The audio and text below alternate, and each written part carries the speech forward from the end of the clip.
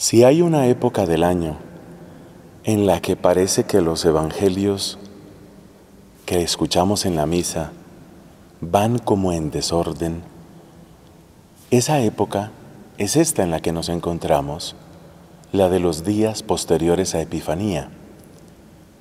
Hemos tenido textos de Mateo, de Marcos, el texto de hoy está tomado del capítulo cuarto de otro evangelista, de San Lucas. Y nos podemos preguntar, ¿cuál es el hilo conductor? ¿De dónde salen esos textos? ¿Por qué están puestos en esta época del año? Y la respuesta no es tan difícil. Todo parte de la fiesta que tuvimos el domingo pasado. Todo parte de la Epifanía.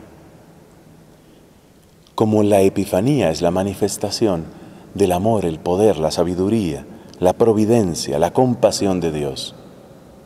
Entonces, los pasajes de estos días son como escenas en la vida de Cristo que nos ayudan a descubrirlo a Él como manifestación única, irrepetible, perfectísima de quién es Dios y de qué quiere Dios con nosotros y para nosotros. Ese es el sentido. Entonces, puedes pensar en la vida de Cristo como un álbum maravilloso de fotos, puedes pensar en tantas escenas, y todas ellas hablan de Dios y todas ellas hablan del Evangelio. Todas ellas son el Evangelio. Pero hay algunas que la experiencia de nuestra Madre la Iglesia ha visto como especialmente elocuentes. Por ejemplo, cuando Jesús fue a esta sinagoga en Nazaret, su sinagoga, el lugar de oración, indudablemente siendo Nazaret una población tan pequeña, todos los que asistían ahí conocían a Jesús, podemos decir, de toda la vida. Para ellos era el hijo del carpintero. Y si digo mejor, el hijo del artesano. Es decir, José era aquel hombre que estaba dispuesto a prestar tantos servicios como ese obrero sencillo que hace tantas cosas siempre necesarias en las distintas casas.